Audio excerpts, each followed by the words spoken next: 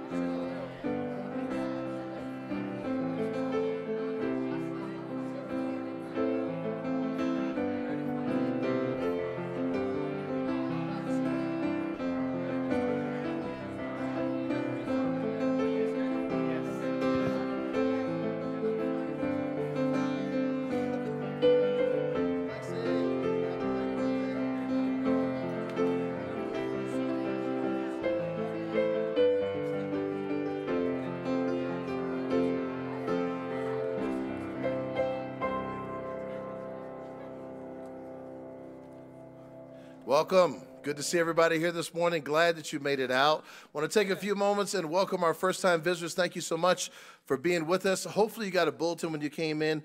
Inside that bulletin is a Connect card. It's right on the inside fold. Just want to encourage you to take just a few minutes, fill that Connect card out, and place it in the offering plate when it comes around in just a little bit.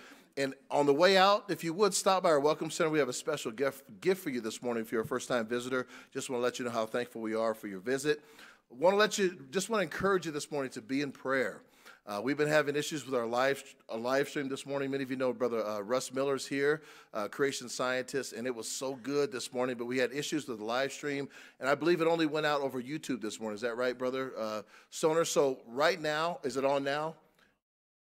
It's not on Facebook now, still. Okay, so be in prayer about that, that God would just work and move and we'd be able to get that out. We will put it back on again later. Of course, it's being recorded in the service this morning, but it's not going out live over Facebook. So just pray that God would bring all that together if you would. A couple quick announcements this morning. Just want to remind the ladies this ladies' luncheon is right around the corner. So next weekend is uh, Mother's Day weekend. Somebody say amen. So hope you're thankful for your mom. We just want to encourage you to, to invite folks out to be a part of that. It'll be a very special service next weekend. And then the weekend after that, on that Saturday, is our mother-daughter luncheon. And it just gives an opportunity for people that maybe we're going to be out of town celebrating, doing different things to be here uh, all together on that weekend on the 18th. So ladies, make sure you get signed up for that. That's a very special event. I'm going to have, if I could at this time, uh, I think that Liz and... Um, Christina are somewhere. There they are, making their way up. I wanted to make a special announcement for you this morning.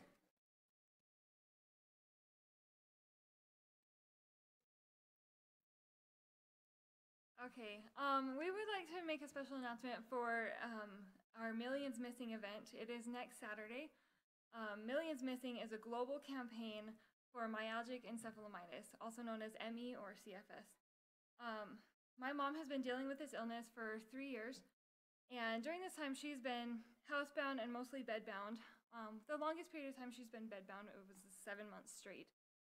Um, this illness makes it nearly impossible to do simple tasks, and she's missed out on a lot of um, family get-togethers and walks with her grandkids. And um, some of the symptoms include extreme fatigue, inflammation, forgetfulness, and sleep disruption. So if you know my mom or someone dealing with any a chronic illness or like any autoimmune dis- diseases, um, please come and join us in supporting the millions missing from our daily lives. And um, this event, like, so our goal is to increase government funding for research, clinical trials, medical education, and pl- public awareness. And so it's this Saturday, the 11th, um, 12 p.m. to 3 p.m. at the Capitol in Salt Lake City. Um, if you come, wear red and bring a pair of shoes to represent the millions missing due to ME. Um, I know it'd really mean a lot to have you there for my mom, especially, who um, to show that you support and love her.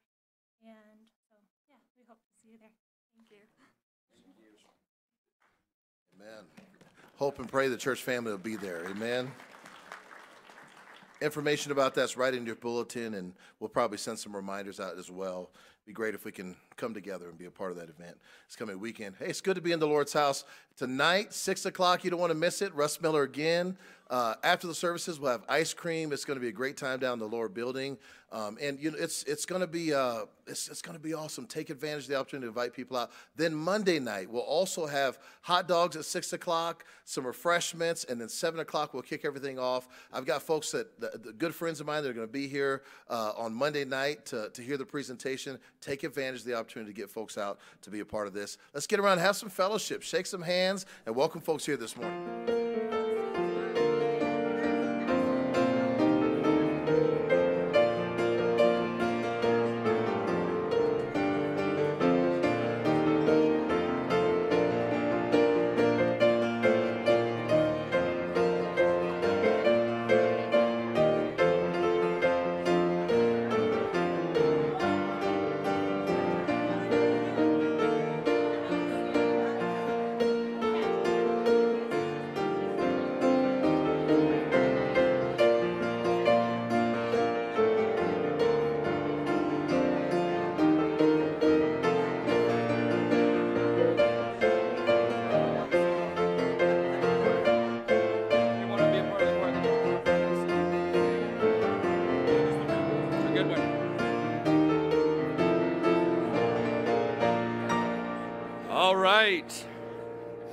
To ask you to make your way back to your seats. It's such a good, good day in God's house. If you were unable to be here during the Sunday School Bible Study hour, it was amazing. And what we're going to do is ask you to go to our YouTube page, Faith Baptist Layton, and you'll see our symbol, you know, our logo and stuff, and that's us. And then if you'll subscribe, and then if you'll hit the bell, then you'll get all the videos. Like right here in church, when we started live here, you would have gotten a notice that we just went Facebook, or not Facebook, YouTube live. We all, we've been going Facebook Live, and it's been working out just fine. About a month ago, we had a big problem with YouTube not going out. This morning, we had a big problem with Facebook not going out, but YouTube did. So, um, Facebook doesn't like it when you put YouTube videos on Facebook, but that's what we're going to do um, because it's their fault. So if you're listening out there, it's your fault. If you don't like it, fix your stuff. Okay.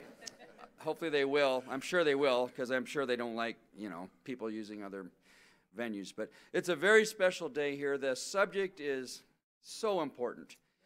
Either the Bible is God's word and everything in it is exactly as it says, or it's not. But if it's not, then what is God's word in God's word? Is anything true in God's word? What if everything was true in God's word? And it is, which is how you can have a Savior and how you can ha- know for sure that you're born again and, and know that you can have fellowship with God now and go to be with Him forever one day. These are all important things. And you may say, well, I don't see how that's connected to, to uh, creation. It is. It is. If, if God didn't know what he was talking about on creation, then how do we know he did on anything else? And there is no science against creation and what the Bible says. And that's what he'll be talking about today. It's fantastic stuff. I'd love to be able to tell you to take your Facebook. You can tell people you're at church right now. That might help. You could even go on there and say, go to our YouTube channel and watch this live. But you won't be able to, to tell them to, you won't be able to share your live feed with uh, Facebook right now. But we're going to dedicate this day to the Lord. Brother Doug Hughes is going to open us in a word of prayer at this time. Let's go to the Lord in prayer. Father God, we thank you, Lord, for everything that you've given to us, Lord. And um, Lord, as we ponder our hearts and our thoughts, God, I pray that you'd settle us, Lord. I pray that you would uh, give Brother Russ the words to speak to our hearts, Lord. I pray for the many members here, God, and the ones that could not make it. Think of Amy Brown, uh, Lord, of the loss of her mom, God, and uh, Lord, the young lady that's, uh, uh, Lord, having some difficulties, Lord, Miss Nelson, Lord, I, I pray, God, that you give the doctors wisdom and help find out the reasons why she's having the issues that she's having, God. I pray for my wife's daughter, Margaret Perry, God, that she's at the U of U, Lord, have just passed having a surgery, Lord, in recovery. I pray, Father, most of all, that she gets saved and see you through all this, Lord. And Father God, I do pray that if there's anyone here that knows you not, I pray that they would see the need and they would want to accept you today as their personal Savior, Lord. We give you all the honor and glory this hour. In Jesus' name, amen. Amen. All right, if you're in the choir, head on up. We're going to sing right after this song.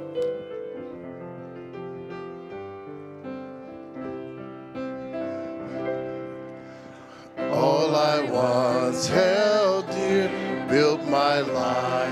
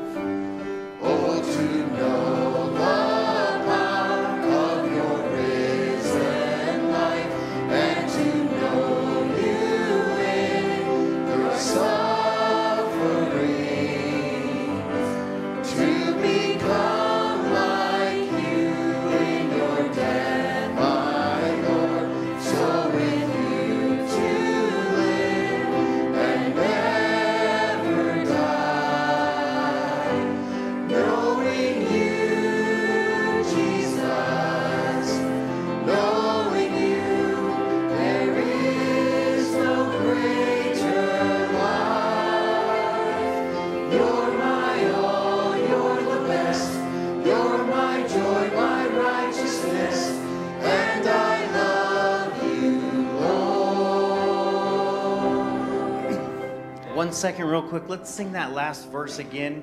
You know, it's interesting if you were here in Sunday school, um, Brother Miller was talking about how um, there's no death before Adam.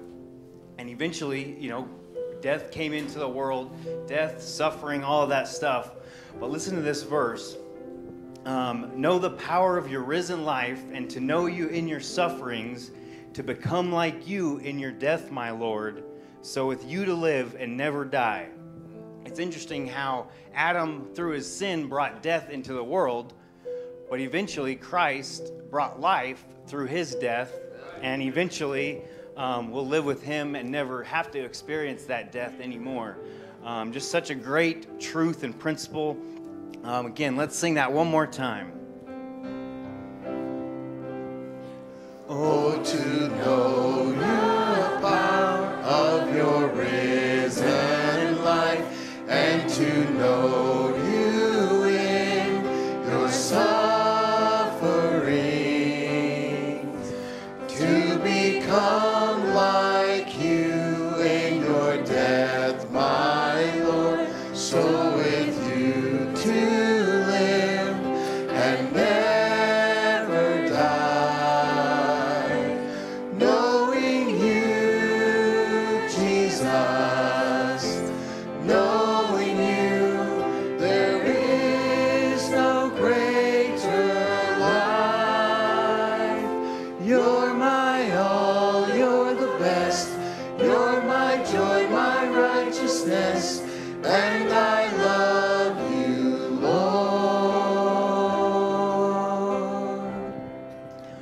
can be seated.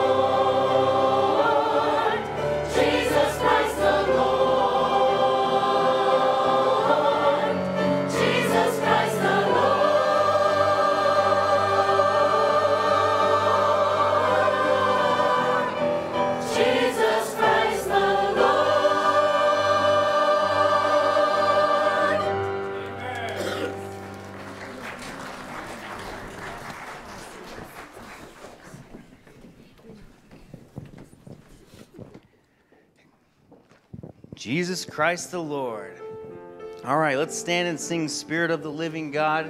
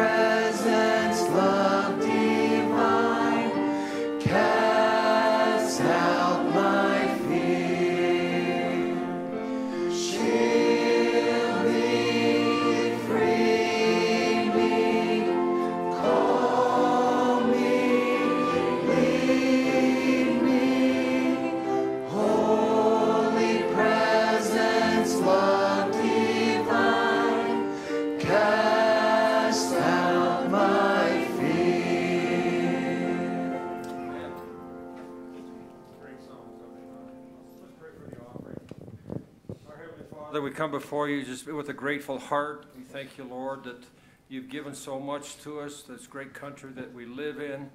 Uh, Lord, the riches that you've given us. We pray that, Lord, that we give back the portion that you've already given to us. We ask that you bless, Lord, the giver, and that the, uh, the, the funds that come in, that, Lord God, God will go out and further the gospel, not over here in Layton, but throughout the valley and across this world. We just thank you, Lord, in Jesus' name. Amen. All right, you could be seated, but sing this song with us. I have decided to follow Jesus.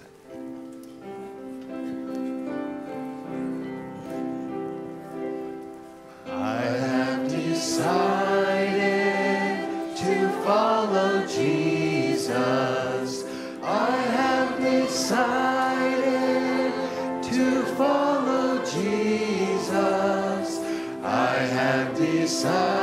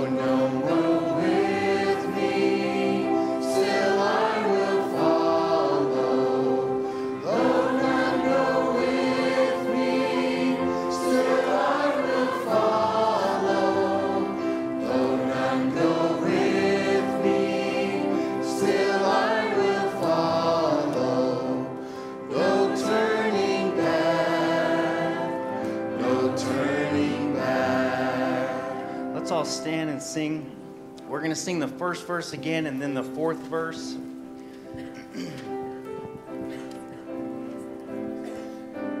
Actually, I think they're the same. So we'll just sing it twice and we'll sing the chorus a cappella. I have decided to follow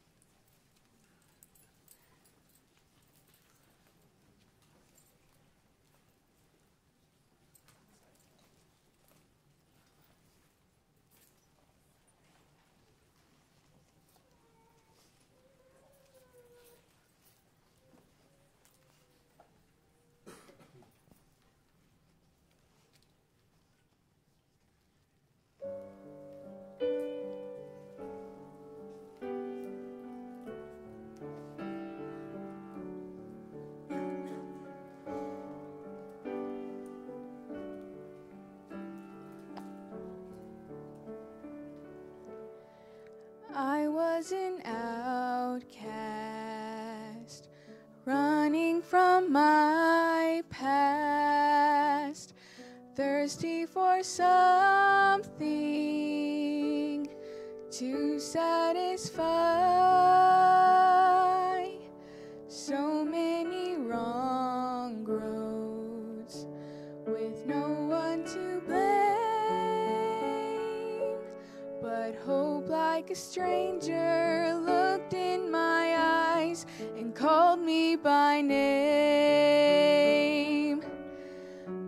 That's when I knew who Jesus was.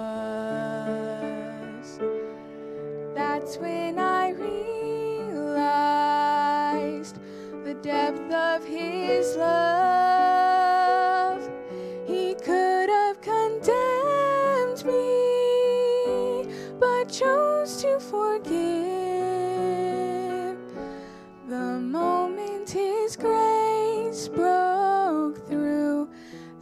That's when I knew. It's not how I planned it. I can't understand it. How someone so perfect could love even me. But the mystery of grace is what can't be explained.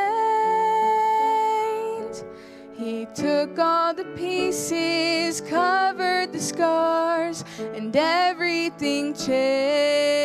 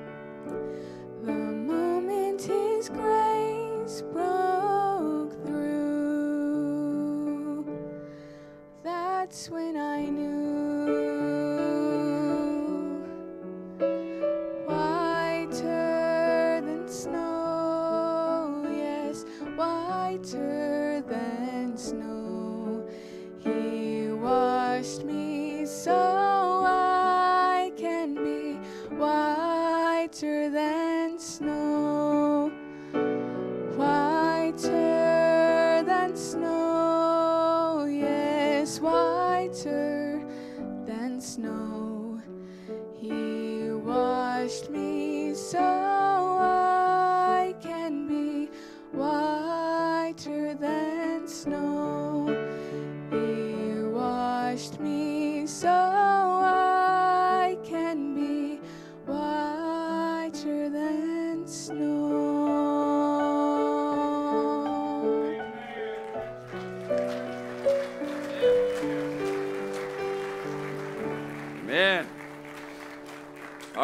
Washed in the blood this morning? Do you know Christ is your Savior? Such a blessing and privilege to have Russ and Joanna Miller with us. Uh, met them several years ago, and we've had them, I think this is the third time. We try to have them about every two years, and maybe we should have them more often. It's so fundamentally important. Because if people can grasp the fact, and they seem to off and on, you watch a documentary, I watch most all the nature documentaries, and there's always this word that comes up design. Hold it. You got to have a designer if you have a design. The, you know, the interest, intricacy and the complexity of all that is around us is God telling us about his existence. But today we're being told to deny his existence by through evolution and these sorts of things rather than trust that there really is a God and accept the obvious, really, that there really is a God. Anyway, I won't take up any more of his time. It's so good to have you here. We're really looking forward to what you have to say now and tonight and Monday night. Come on.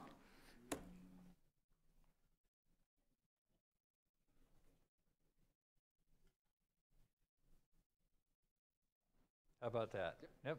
Okay. How you doing this morning? Awesome. Hey, again, my name is Russ Miller, and uh, my wife Joanna and I, we have a ministry that we run.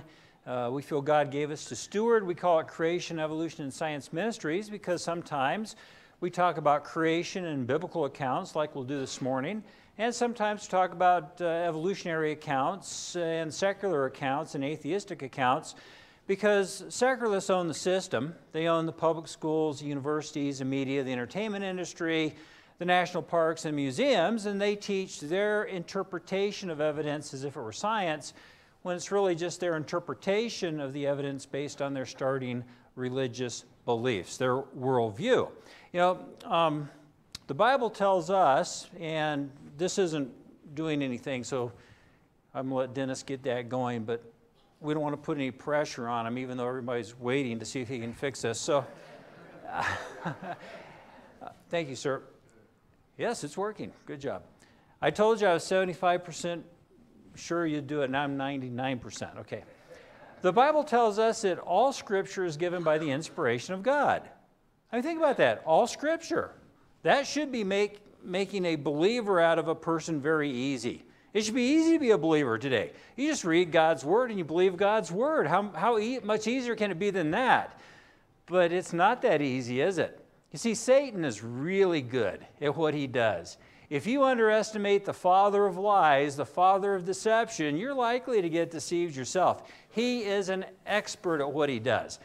But all scripture is given by the inspiration of God. He throws out so many stumbling blocks and questions. He always brings in questions to try to undermine people's faith. First time he shows up in scripture, Genesis 3, verse 1, he, the first question in, in the Bible, hath God said? He starts planting seeds of doubt by asking questions. So, tonight, in tonight's message, I'm going to answer the top 25 skeptical questions out there. And these are so common that now they're common questions from well meaning people too, because Satan is planting those seeds of doubt. Like, how do you know the Bible's truly the Word of God? How do you know that God's Word is true? Isn't a day and a year the same, or a thousand years the same thing to God? I'm going to answer the top 25 skeptical questions tonight. And tomorrow night, in my personal favorite teaching, I will destroy the fairy tale of Darwinian evolutionism which is taught as if it's science in our schools and undermines the faith of millions of Christian kids every year. Millions. It's a, it's a teaching I gave at one college that one biology teacher saw, quit her job, became a Christian, and now teaches science in a Christian school. And the school, as a result, launched an accredited course attacking me in biblical creation. They ran for at least four years and all because of the teaching I'll show tomorrow night. If you have any issues with Darwinian evolutionism, or you want to know how the Bible actually fits real science and how real science is a believer's best friend, I think that'll help you a great deal. But this morning, let, us talk about something different.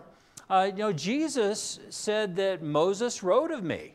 Do you think it was important to Jesus what Moses had to say? We celebrated his resurrection a couple of weeks ago. On the day of Jesus' resurrection, he approached the two disciples walking away from Jerusalem, leaving Jerusalem. They had heard, he had resurrected, they didn't even believe it. They were leaving. And, and Jesus approached them, and on the day of his resurrection, what was the first thing he began teaching his disciples? From Moses on the day of his resurrection. And Jesus tells us, Moses wrote of me. Well, through the inspiration of God, Moses is used to lay down the foundation of the gospel message in the first and the third chapters of the book of Genesis. If you're going to build a structure, the first thing you do, you have to build a solid foundation to build upon. And that's what God does in Genesis 1. He lays down the foundation of the gospel message. This is why you see creation under relentless assault from the enemy. Have I mentioned that Satan is really good at what he does? This is where we're told that God gave us a perfect creation. It was perfect. There was no death, there was no suffering in it. It was perfect. Well, it's not perfect today, is it? You know, how many of you heard or even thought yourself at one time or another, or had someone ask you, How can there be a loving God in this world full of death and suffering? Have you ever heard something along those lines? It's one of Satan's first questions to get people to doubt God's word. Well, if you leave here with nothing else today, know how to biblically answer that question. It's unbelievably simple, and it's right there in Genesis 1 and Genesis 3. And the answer is this God didn't give us the world the way it is, full of death and suffering. God gave us a perfect creation. Well, what in the world happened to it? Adam's original sin. You see, Adam's original sin allowed death to enter, and that's why we live in a world full of death today, but have a loving God that cares about us. There's a biblical answer. Pretty simple, isn't it? But see, once you, if you've accepted old earth beliefs that put death before Adam, you can't teach Adam sin brought in death. See that? Wait, did I mention Satan's really good at what he does? So most Christians can't answer that question, but now you can. And it's a very simple question. But more importantly, Adam walked in the garden with God, but we don't walk in the garden with God today. Why not? Well, see, that original sin separated us from God, requiring a redeeming Savior die on a cross so our sin could be forgiven and we could be redeemed with Him for eternity in heaven. I call that the cost. And ta- COST, creation, original sin, separation, and the cross. The cost. And talk about a loving God. He loves us so much that despite our sin that has separated from Him and corrupted His creation, He sends His only begotten Son to suffer and die on a cross so we can spend eternity with Him in heaven. Well, it doesn't get much more loving than that, does it? But you see, if you've accepted an old earth belief that puts death before Adam, you can't answer any of that, can you? It's the age of the earth matters. And people don't understand it because they don't understand the death issue. Satan is really good at what he does. And my friends, that's the foundation of the gospel message. Now, through the inspiration of God, Mo- Moses also told us that God has judged man's sin once already with a flood that covered all the high hills under the whole heaven. Oh, come on now. That would be a global flood. I mean, now, and I asked Pastor if I could just be honest with you guys today, and he said, be totally honest. Is that okay with you guys? You're sure? Okay, I'm going to be honest with you. If there had really been a global flood that covered all the high hills under the whole heaven, I mean, if God's word were really true, the evidence would be overwhelming. There should be nothing to even argue about. I mean, let's speculate. Let's say there really had been this worldwide flood. I would think the crust of the earth that we live on and walk on would be made up of sedimentary layers of rock that have been stratified out. The sediment stratified by grain size, weight, and density. You know, like a miner with a pan, he scoops up some sediments and water and sloshes it back and forth.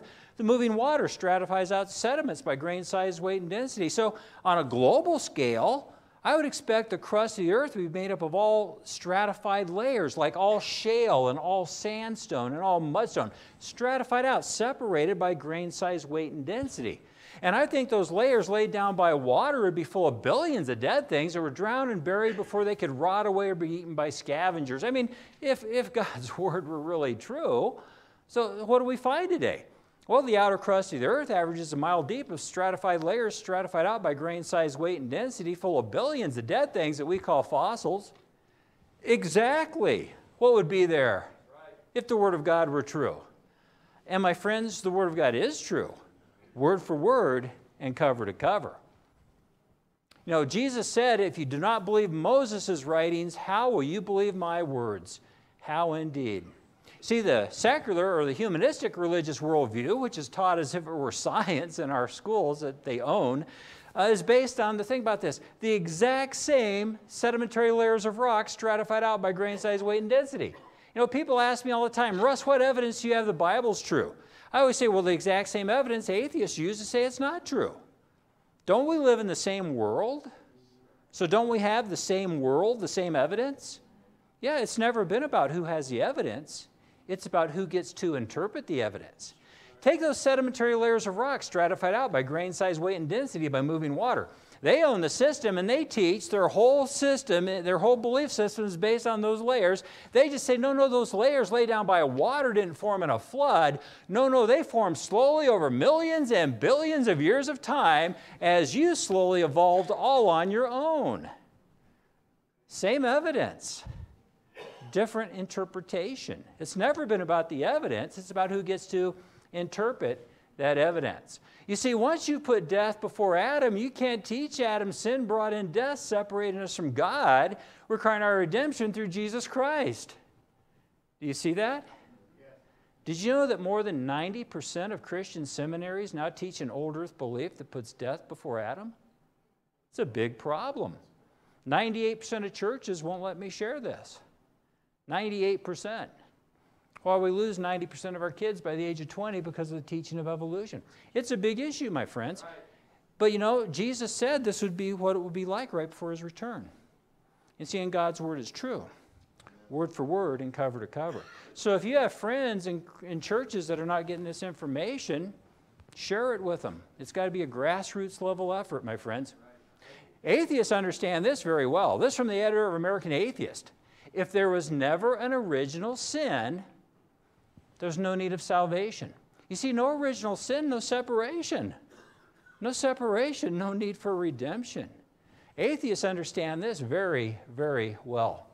And if the age of the earth is an issue for you, don't think, don't think, gee, there's something wrong with you. Over half of Christians struggle with these issues. And that's the reason we have our ministry. We're helping Christians see the truth. We're, we're helping people learn and grow so they can share this with others. So, why did God destroy his awesome creation? Well, back to Moses. And God saw the wickedness of man was great in the earth, and he said, I will destroy man. And in 2 Peter in the New Testament, we're told, And he spared not the old world, but saved Noah, the eighth person, bringing in the flood upon the world of the ungodly. So there are eight people on board the ark. Uh, there are four couples Noah, his three sons, and their wives. Four couples on board the ark. National Geographic did a study of the human gene pool, certainly not a friend of biblical creation, but they came to the conclusion that all humans come from one of four distinct gene pools. Well, I could have told them that just by reading Genesis 1, right? Read the book of Genesis. It answers so many questions. You know, if you started with four couples about 4,500 years ago, and if they averaged having 2.2 children per couple, you would have about 7 billion people on earth today. Census studies say there are about 7 billion people on earth today. Imagine that. Okay, a fair question. Had there been a global flood, shouldn't there be some flood legends floating about? Did you know that more than 300 ancient flood legends are known? That almost every ancient civilization starts with a count of a few people surviving a flood and repopulating the world? In other words, ancient history supports the Word of God. Okay, well, how did Noah and his family collect those animals from all over the globe? There's a lot more than eight of us here today, and I think if God gave us somewhere around 120 or so years to collect all the animals from all over the world, and we have cars and trucks and boats and airplanes, I don't think we could do it. Well, how in the world did Noah and his family do it? Well, they didn't collect any animals. God had the animals come to them, two of every sort, seven of the clean types. Okay, well, how did Noah and his family fit those millions of animals on board the ark? Well, let's get a feel for how many creatures may have been on board that ark. First of all, the Bible indicates he only had to bring land dwellers that breathe through their nostrils and some birds. That gets rid of a lot of supposed issues. Fish wouldn't have been on the ark, right?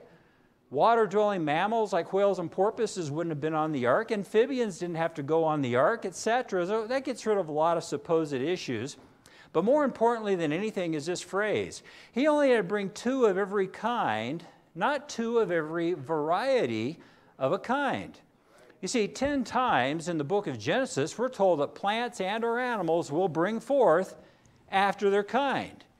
In other words, people will bring forth people. Pine trees will bring forth pine trees. Dogs will bring forth dogs. It's called microadaptation or variation. It's the only thing real science ever observes it's not Darwinian evolution says one kind will bring forth a different kind. Did you know there's never been a single example of Darwinian evolution found?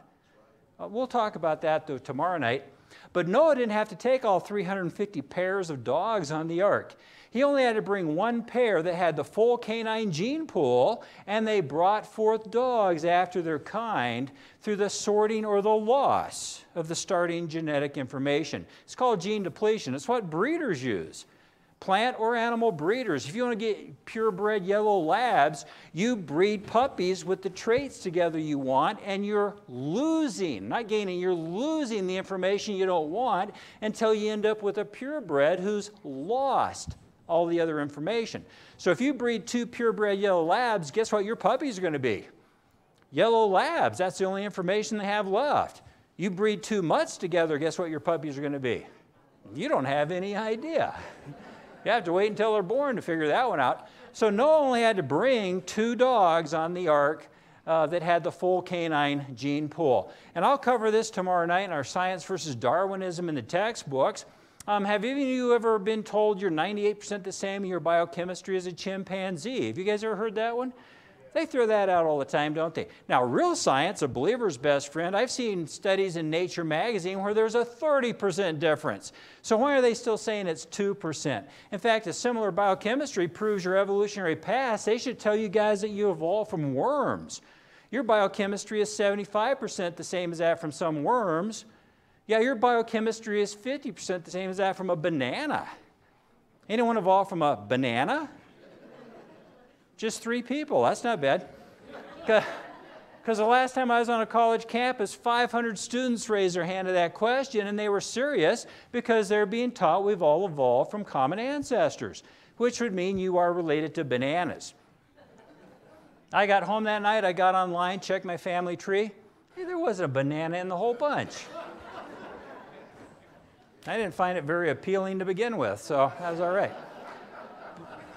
But We'll cover fraud after fraud, all these things. Notice how their proofs of Darwinism are always drawings? There's an old saying that goes like this Darwinists are experts at drawing things that never existed to support their theory that never took place. You take away their box of crayons, they've got nothing. But they own the system, and man, they draw the evidence that they think would be there if they could just find some of it. But you see, gene depletion makes Darwinism impossible. I'll explain that uh, tomorrow evening. Let's get back to that ark. How many animals might have been on that ark with Noah and his family? Well, we have about 2 million classified species today. Only about 40,000 of those are vertebrates. If you take out the marine creatures, the amphibians, and the water dwelling animals mammals that wouldn't have been on the ark, you're left with about 3,000 kinds. Two of each kind, 6,000. Throw in seven of the clean types, you're looking at around 7,000 animals on board the ark with Noah and his family. And the average size of a land dweller that breathes through his nostrils is the size of a house cat. So the real question becomes how did Noah and his family fit somewhere around 7,000 house cat sized critters on the ark with he and his family? Well, I'm just going to speculate here because I wasn't there, but I think of the, of the handful of, of large critters like elephants and giraffes, or even, even the handful of small of large dinosaurs. God brought young ones. They live longer to reproduce. That was their purpose. Some of you guys are looking at me like, am I saying dinosaurs were on the ark with Noah and his family just a few thousand years ago? Well, the Bible says he was to bring two of every sort on board with them. The Bible says man and beast were both made on the sixth day. Now, like I said earlier, the Bible's true or the Bible's not true. So let's look at this with an open mind, and you can make up your own decision what you want to believe. Now, there were only about 50 kinds of dinosaurs. You know what the average size of a dinosaur was? About the size of a sheep. Some were smaller than chickens. Of the handful of large ones, he only had to bring two of each. The sauropods were the largest, the long necks and long tails. I'm going to guesstimate he brought young ones that were probably about the size of an Indian elephant. And those are probably the largest animals on board the ark. So getting them on board was not a problem. Yet, what is the very first sentence you read in a secular dinosaur book to your children and grandchildren right before they go to sleep at night? 65 million years ago, dinosaurs went extinct. You've just taught them that death and suffering existed long before man. Now, let me ask you a question Who saw dinosaurs go extinct 65 million years ago? Yeah, exactly. That's a belief. That's not a scientific fact. So later on, you try to tell that same child by one man sin entered the world and death by sin. And they're going, wait a minute, mom, wait a minute, grandma. You've been reading me these dinosaur books that say death and suffering existed for hundreds of millions of years before Adam came along. Do you see the stumbling block? Wow. Did I mention that Satan is really good at what he does? You teach death existed before Adam, and you can't teach Adam sin brought in death. See that? You can't teach them both. That's the reason these seminaries now are teaching there was no Adam. Have you been hearing those teachings? That he was just an allegory, a myth? Well, yeah, I, I spoke up in uh, Grand Rapids a couple years ago. Calvin College is there. They teach theistic evolution about this Jesus who used millions of years of death and suffering to slowly evolve us. I used to be a theistic evolutionist, by the way. I'm here to help those folks, not attack them. But they sent 50 of their science honor students there to harass me and attack me in a loving Christian way, I think. But I did the message I'm doing tomorrow night, Science and Darwinism, just destroys Darwinism. I walked off the stage, three of their students ran up the steps behind the, the curtains, got right in my face. This one young woman said, I hold an advanced degree in biology and came here to debate you about Darwinism, and you just showed me everything Calvin College is teaching is based on a lie. I said, Well, praise God. Go back and tell them the Bible's true and start humbling themselves to God's word. Well, they didn't do that. I think they, they picked up on the death before Adam issue that day. And now Calvin College is teaching that there was no Adam, he was a mythical creature. Why would you do that? Well, well, picture it. Think about this. They're teaching billions of years of death brought man into the world. That's the secular atheist foundation. The biblical message is Adam's sin brought in death. You can't teach death existed before Adam and teach Adam's sin brought in death. Do you see that? So they're just getting rid of Adam. The answer is to humble yourself to God's word. Right? Isn't agreement with me on that? Just humble yourself to God's word. Let me show you why we can believe God's word if these are an issue uh, to you. For instance, how do dinosaurs fit into a biblical worldview? That's a picture of my wife, Joanna, by the way. She's the uh, pretty one with the white blouse on, right? right in the lower corner. Really, you, you can meet her today. She's here. So I'll tell you what, I'm going to go through some information here. Just have an open mind. And when I'm done, you decide for yourself what you want to believe about dinosaurs. First of all, the word dinosaur was only invented about 178 years ago. Prior to that, they were called dragons and serpents. If you look in a dictionary today under dragon, you'll be told mythical creature. Here's a dictionary not even 80 years old. Dragon, now rare. A huge serpent. A fabulous animal. Look in old dictionaries, there's nothing mythical about them. You know that ancient history books are full of thousands of accounts of man and various dragons. We call those dragon stories today. Let me give you a couple examples that come out of what is now India. You guys heard of Alexander the Great? When he conquered that area 2,300 years ago, he wrote that the, his soldiers were scared by the great dragons that lived there 2,300 years ago. 1,900 years ago, Apollonius of Tyana wrote, The whole of India is girt with enormous dragons killers of elephants. It takes a big critter to kill and eat an elephant. We don't have an animal that can kill a healthy adult elephant today. Something different in, the, in India 1900 years ago. And think about this logically. We find cave drawings and man made carvings of all sorts of dinosaurs all over the world. Picture this on a timeline. Here we are today. We're told these things were made 700 to 2,000 years ago, okay? People all over the world know what they look like 700 to 2,000 years ago. We didn't recognize dinosaur bones till 190 years ago.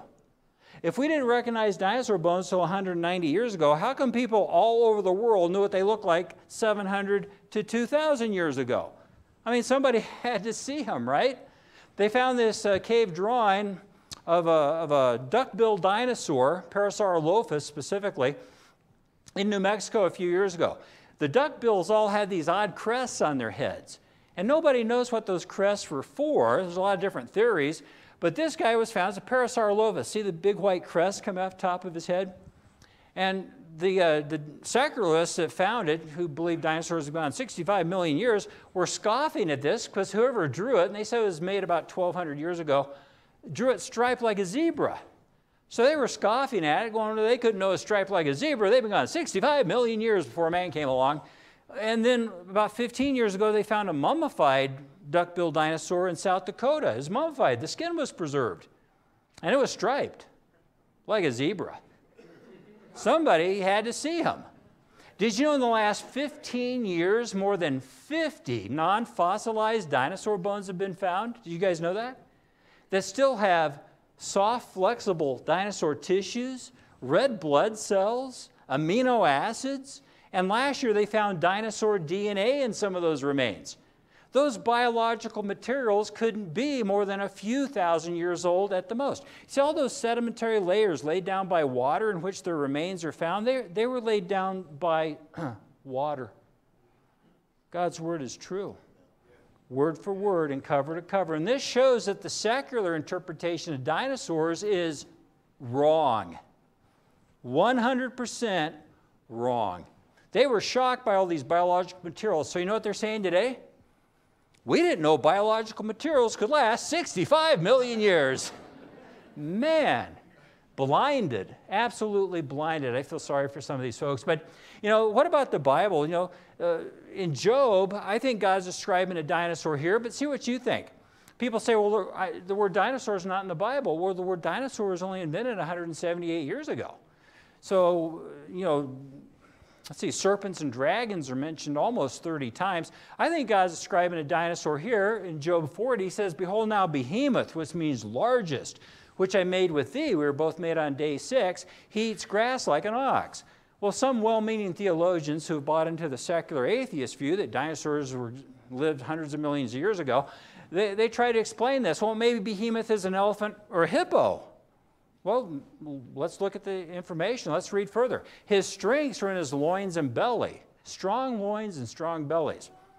Elephants and hippos, they do have big, strong bellies. Maybe one of those is behemoth. This guy's got a big, strong belly. You know, maybe, maybe he's behemoth.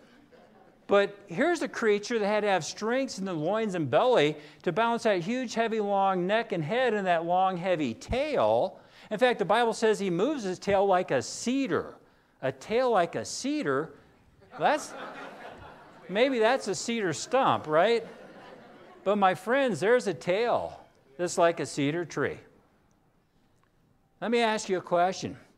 Because I think God deserves the credit for his creation and his created beings. And I think we need to recapture dinosaurs from Satan, who's using them to mislead not millions, billions of people around the globe and are not accepting God's word. And we need to recapture them for God's glory. How many of you can believe, like the Word of God says, the overwhelming archaeological, geological, biological, and historical information attest that man and dinosaurs lived together in the past? How many of you can believe that?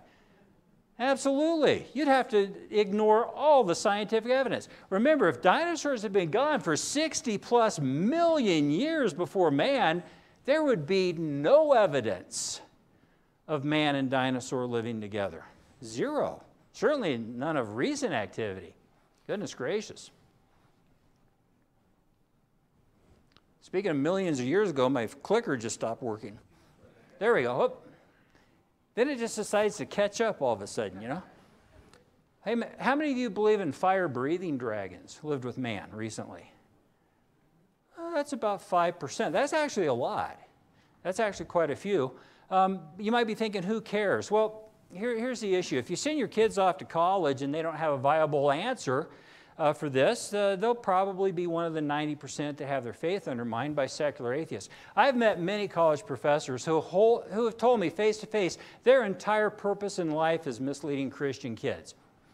Um, I was speaking on a college campus a few years ago, and during the Q&A, I always have to do a Q&A. I don't just give my hour-long message. I have to give an hour-long Q&A because I have to let the kids see the professors have nothing. Because if I just speak and leave, boy, after I leave, oh, if I could have spoke, boy, so I have to let them see, no, no, they, let them have their best shot here. They, they've got nothing. They own the system, though. And um, so during the Q&A, one kid stands up, and instead of asking a question, he just says something putrid about Christians. And the whole auditorium roars in laughter.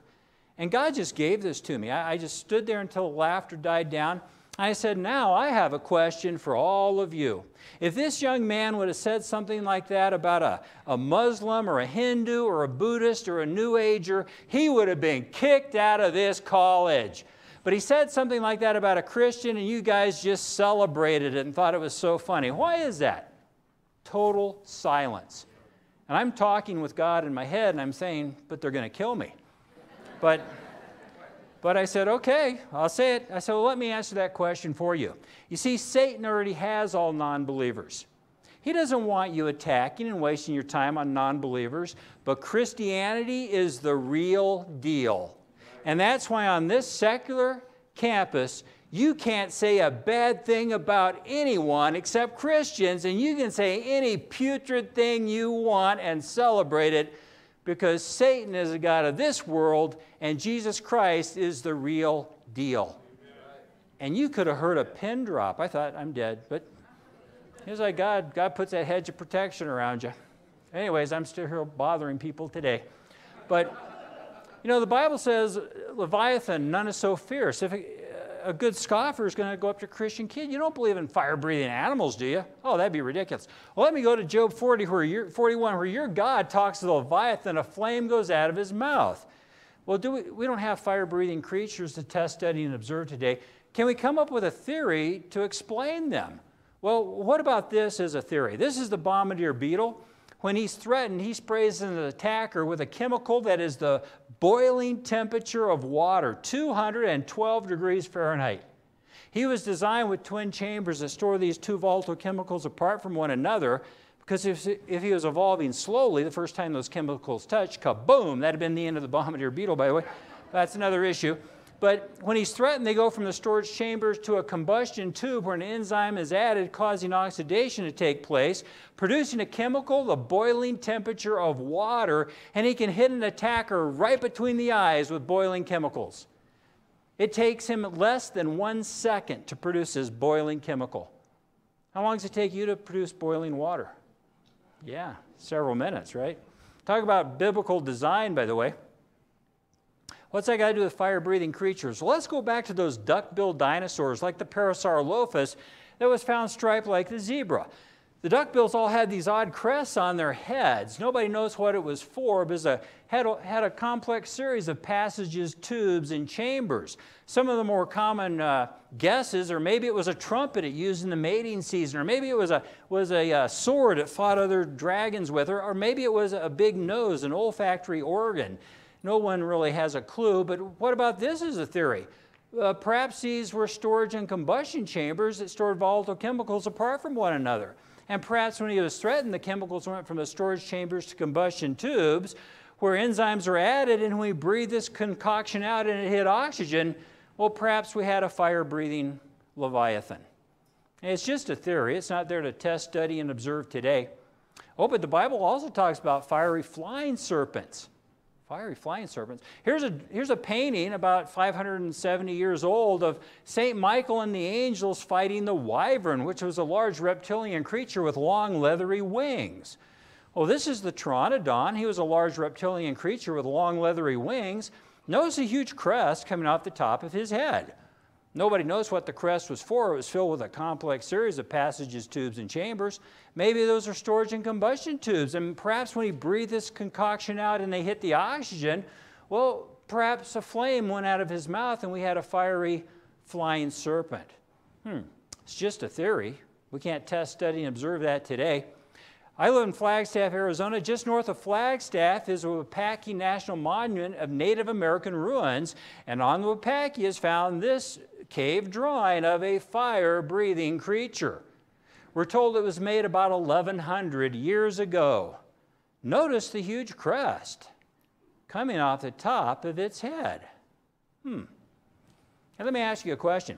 How of you think that it was terrifying to live with dinosaurs in the original creation? Anyone think that was maybe kind of scary?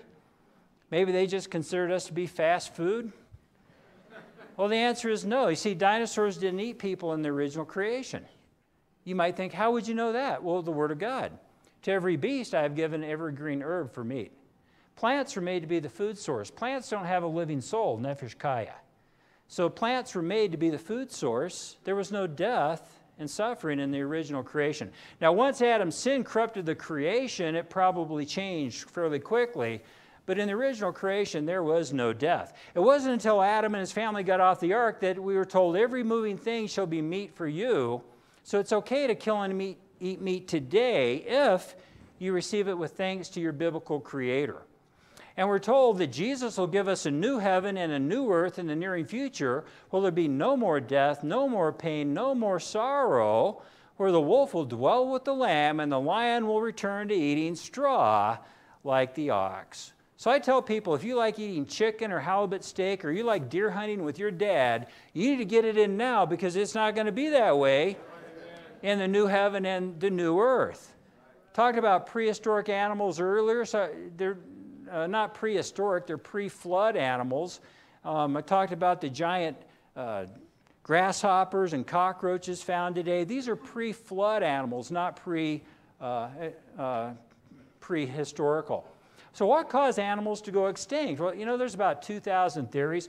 The most popular one over the last 35 years that most people were told was a meteorite hit the planet, caused a blackout, the plants died, the animals died. There's really not much scientific credulity to that. It's lost most of its scientific standing. It's what most people believe today because it's what they were taught. I have a theory that fits all the evidence. I think God judged man's sin with a flood of waters that covered all the high hills under the whole heaven, eroding the top two miles of sediments during the first 150 days of the flood. And then, as the fountains of the deep ebbed, they started laying down those same sediments in the second 150 day period, now stratified and separated by grain size, weight, and density in the shale, the sandstone, the mudstone layers that we have today, full of billions of dead things that were drowned and buried during that flood so quickly they didn't have time to rot away or get eaten by scavengers. Wow. Yet tonight, millions of kids around the world, the last thing they're going to hear before they, they, their precious little minds fall asleep is 65 million years ago, dinosaurs went extinct. They've just been taught death and suffering existed before man came along. Satan's seed is being planted. And Jesus said, The enemy that sowed the lies is the devil, and the harvest will be the end of the world. Think about Noah and his faith. By faith, Noah being warned of things of God not seen as yet. He lived in a world where it probably hadn't even rained. And God tells him to drop his career, his hobbies, everything he's doing, and spend about 120 or so years building this ark because there's going to be a, a global flood in a world where it hadn't even rained. But Noah moved with fear, with respect to the word of God, and prepared an ark to the saving of his house, and became the heir of righteousness, which is by what? Faith. We're supposed to have what? Faith. Faith in the word of God. Think about Noah's faith. He's, he's working on this ark for 80 years. 80 years, longer than most everyone's lifetime. And there, it's never even rained on the planet.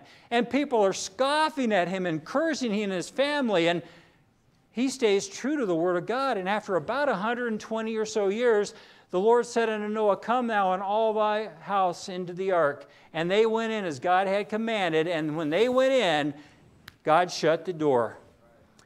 And the global flood burst forth as the fountains of the deep erupted and the flood was upon the earth. You know, until that moment, everybody on the planet was invited to walk up that one narrow plankway through that one and only door into God's one and only plan of salvation from that coming global judgment. And only eight people put their faith in the non compromised Word of God. There were probably people thinking, oh, once that flood bursts forth, then we'll get on the ark. That wasn't what God said. That was not God's plan. That was their plan. How did that work out for them? See, it's not our plan, it's God's plan. See, today, everybody's invited to walk up that one narrow pathway that leads to that one and only door into God's one and only plan of salvation from His coming global judgment.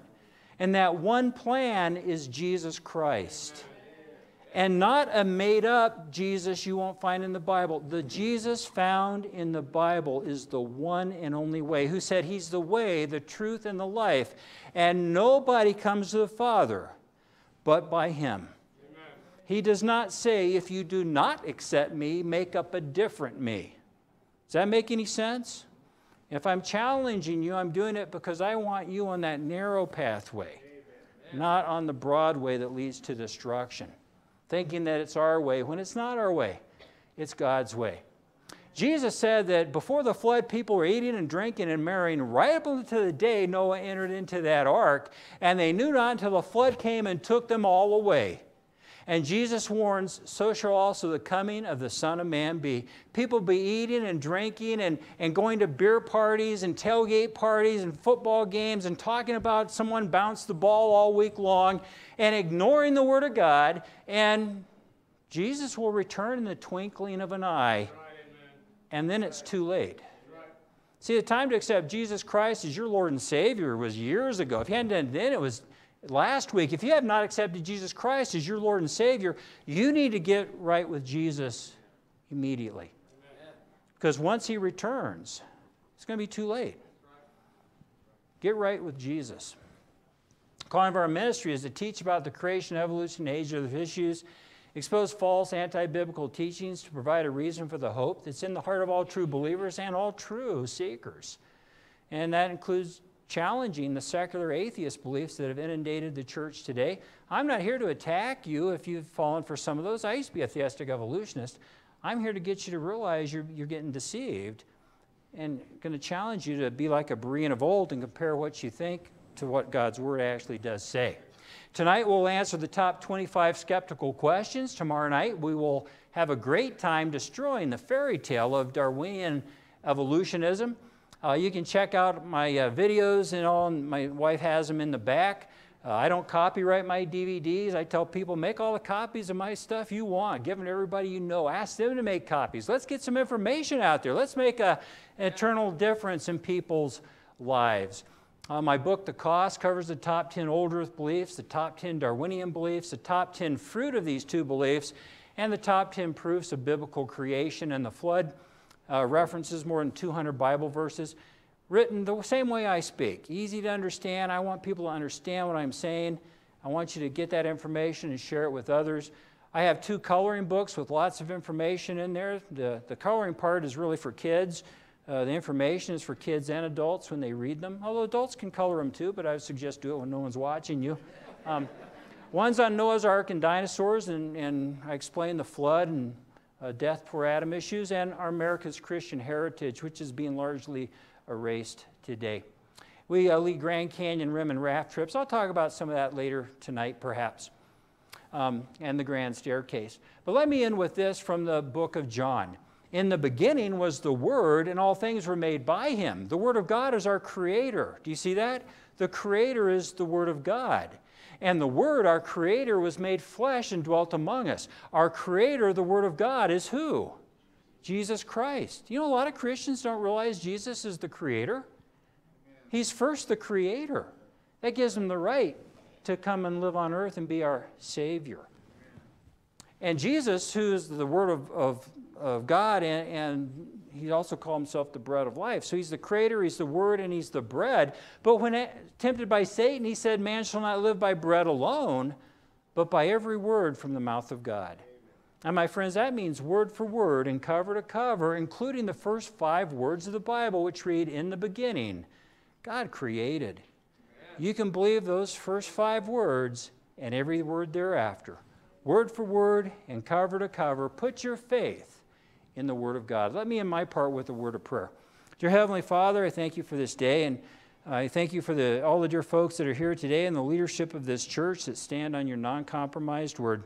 I hope and I pray the information we share will be a blessing to many and challenge us just to humble ourselves to your word over our ideas. I ask this in the name of our Lord and Savior, Jesus Christ. Amen. Amen. Thank you. Thank you. Amen. Let's stand this morning. If you're here this morning without the Lord Jesus Christ as your Savior, there is no better day than today. There's only two classifications of all that is. I want you to think about this Creator, created. That's it. The Creator and the created. You're one of the two. Can't be both. Can't be both. Even God's not both. Hear me. Can't be both. You're either the creator with no creator, his I amness, his Jehovahness. He's the creator, though he himself uncreated. And then there's all that he created. The reason people don't want to believe what the Bible says about creation is it forces them to be accountable to God. But sin did enter the world. That's something else that there's tons of evidence for, right? There's sin all around us. We all need to, we, we, none of us can fix our own sin. Only God has the power to forgive sin. So, where do we need to go to get our sin forgiven? To the Creator, to Jesus. God is Father, Son, and Holy Ghost. That's what his name means. God, Elohim, it's his plural name Father, Son, Holy Ghost. Jesus, God the Son, came and died for our sin, paid the full price. He rose again the third day according to the scriptures. He's alive and well today, and he wants to have a relationship with you. And then he wants to take you to heaven forever and ever to be with him when you leave this earth. If you're here this morning without Christ as your Savior, would you come?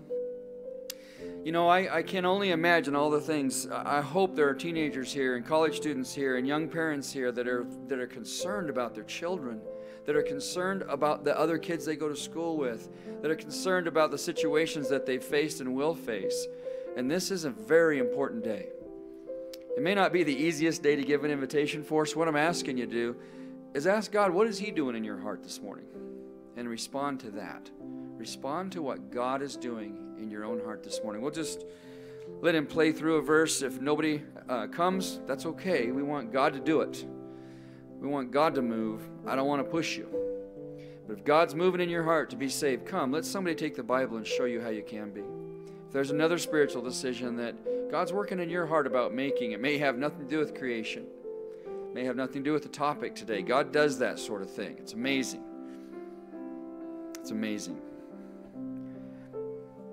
If you preach the Bible, God moves. That's how it works. You don't have to preach on a particular subject to have God move in another one. I've seen it so many times. Parents, I hope we're praying for our kids. What's it like being a second or third grader that they're watching the same thing you did down there, okay? So now these second and third graders say, God created everything. I knew He did.